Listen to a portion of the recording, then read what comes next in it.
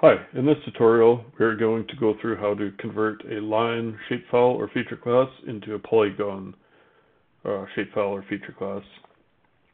Uh, this is a pretty common operation that happens when you export a file from a CAD drawing that's generally meant to be like an area like a right-of-way or a well site or land parcel when uh, those areas are constructed in a In a CAD program, they're as lines, but we want them to be as areas that uh, have additional like properties to them, such as area and perimeter, and are able to be symbolized with different fill polygons and stuff like that in the GIS. So um, occasionally I'll get a shapefile that's as lines when it should really be as polygons.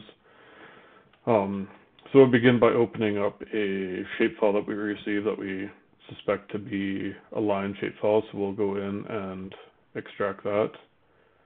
So we'll do extract all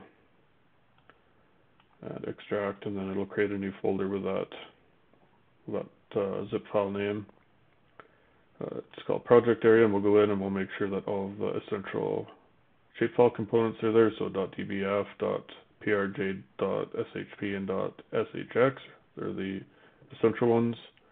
And then we can just drag and drop that into our ArcGIS Pro, which is the system that we will use to convert those lines into polygons.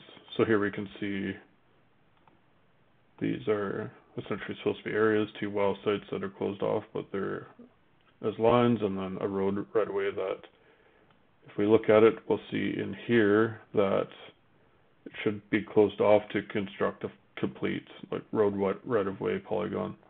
So the first thing we're going to do is close that off.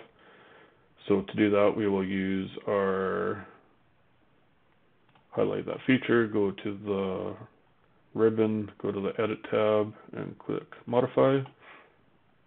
From the Modify, we will select a tool called Continue Feature Tool, and then we will select one of the lines. And here we'll see that um, we want to connect up here, but the line is extending from this side. So what happens is the line will be extended in the direction that it was drawn.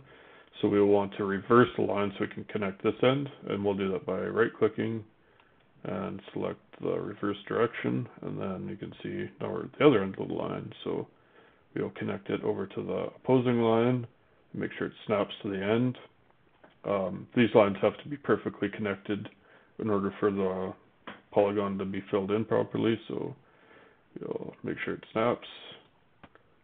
Uh, we'll left click, and then we'll right click and say finish, and then it'll be all closed off. So the next step is to create a new shapefile but a polygon shapefile that all this will be transferred into. We'll use that through the catalog pane, which is accessed through the view tab in the ribbon.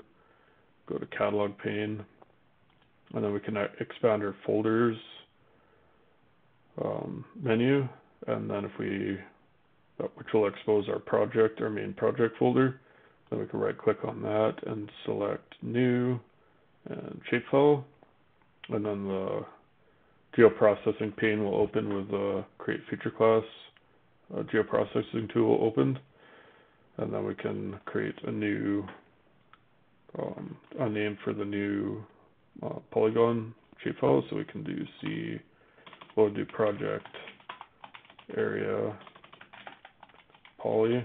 So we know it's a polygon feature class. And then we'll use the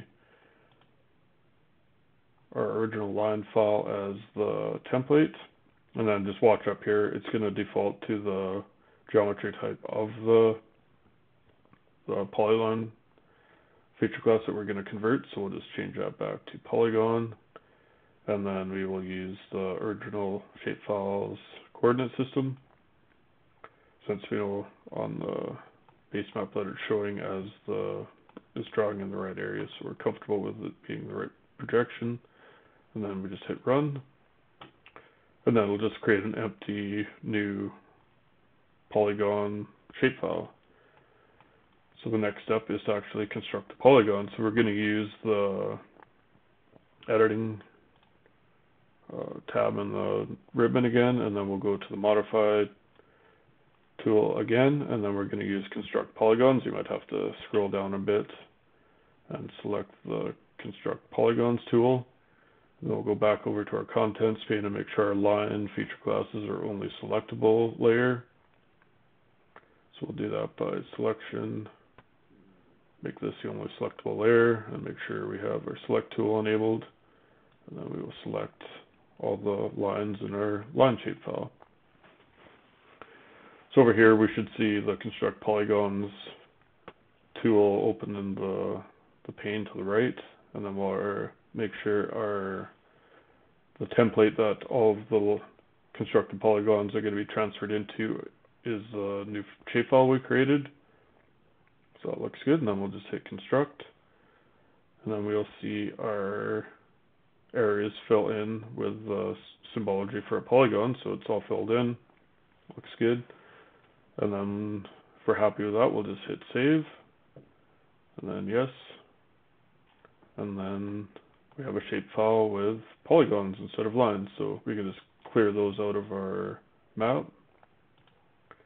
And then we'll add our polygon shapefile back in by going to our project folder in the Windows Explorer.